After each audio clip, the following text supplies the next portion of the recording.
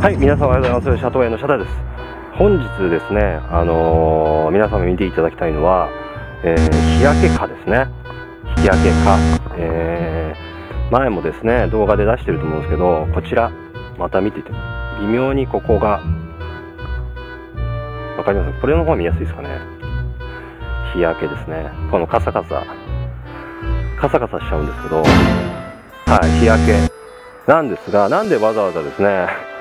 えー、たかだかこれ1本ですねのために取ったかというとですねこちらですね常盤研究所のですねコレクト、えー、噂でですね噂というか もう去年からですねコレクトは日焼けするっていう風に聞いてました。で僕すっかり忘れててですね入れたんですけどまさかこんなに日焼けするとは思いませんでした。はい。なんでかっていうとですねずっとこんなお天気なんですね。でこれ焼けたのが多分昨日か一昨日なんですけどあの寒かったんですよね。で今日とかはまあちょっと朝晩もそんなには冷え込まなかったんですけどこの大体日焼けってあの直射日光が、まあ、当たったりとかですね。あの曇天続きの後にあの直射急にあの太陽が出てパーッと強光線が当たったりしてこうまあ雫とかがここに悪影響してですね、ここが焼けたりとかするんですけど、この日焼けはですね、それではないんですよ。動画がいたって。晴れ間はほとんど出てませんので、あのー、おそらく、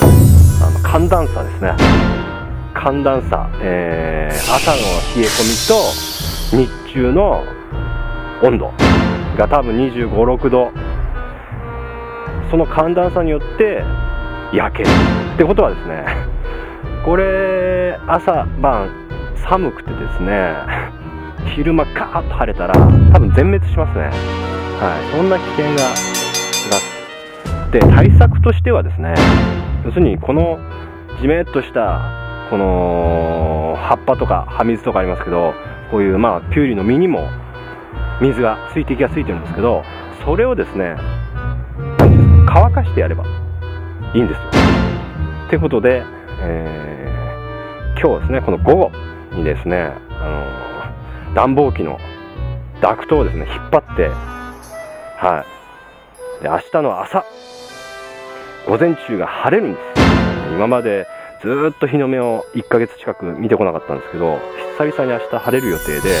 最高気温も30度ぐらいまでなる予定なので確実にこれコレクト焼けますんでね。だからダダクトを引っ張って朝からですね暖房機30度朝6時から30度で回しちゃって中の湿度をバッと抜いてあげてで光線を当ててそれそこまでやってですねあの日焼けしてしまったんであればですね。もう僕の人のなせる技じゃないです。よはい。もうっていうことです以上です。今日はですねあの日焼け対策ということで農協にからの指導もありますが、そちらを、えー、やっていく予定ですという動画です。ご視聴ありがとうございました。シャタのシャタがお送りしました。じゃあ、また。